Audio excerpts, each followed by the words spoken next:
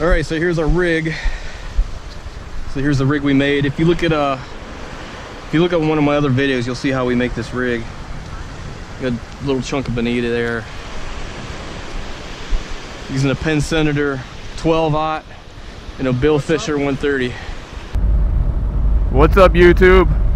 Hey, so this isn't gonna be a normal vlog today. More of a request, a call for help from you guys. So you saw that little video in the beginning. That was from some unused footage I had.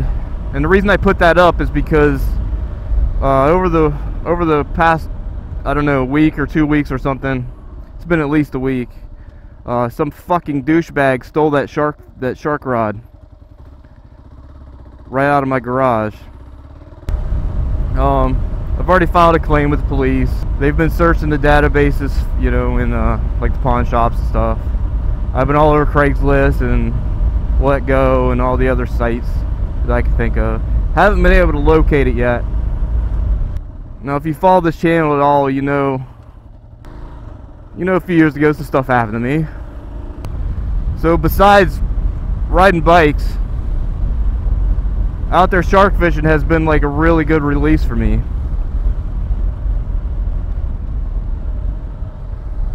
So for some fucking scumbag to come up into my home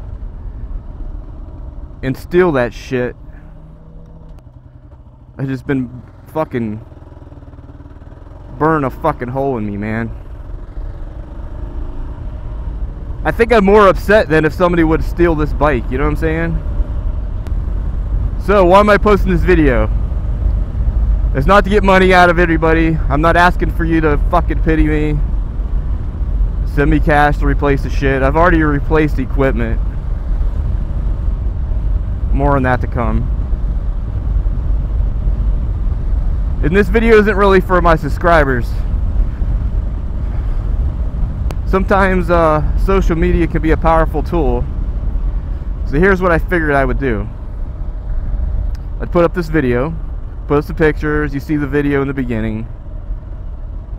I'm gonna I'm gonna see if I can post this video up on some of uh, so what I'm asking you guys is to if you see this video if you're in Florida especially if you're in Tampa Bay, St. Petersburg, Seminole, Clearwater share this video around I'm hoping somebody will see it somebody will recognize uh, my setup. A Penn 12 aught on a Billfisher 130 class pole. There's about 1,200 uh, yards of Jim Brown 130 pound hollow core on there, and a little bit of top shot. I think of a 200. All right, that's pretty fucking specific, man. I don't know.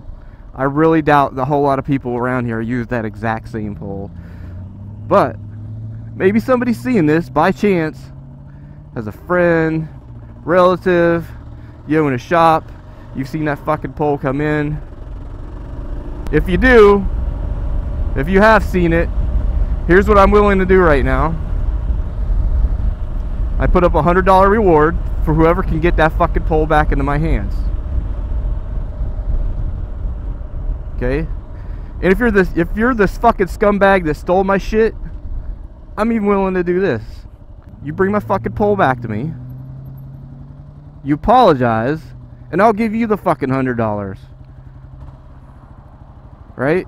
Because it ain't about the money. I've already spent $800 to replace the fucking rig with something bigger.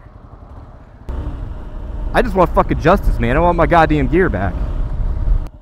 But anyways, I'm putting up the $100 whoever can bring my shit back. On top of that, if you get my gear back, anytime we go out shark fishing, you are absolutely more than welcome to come along.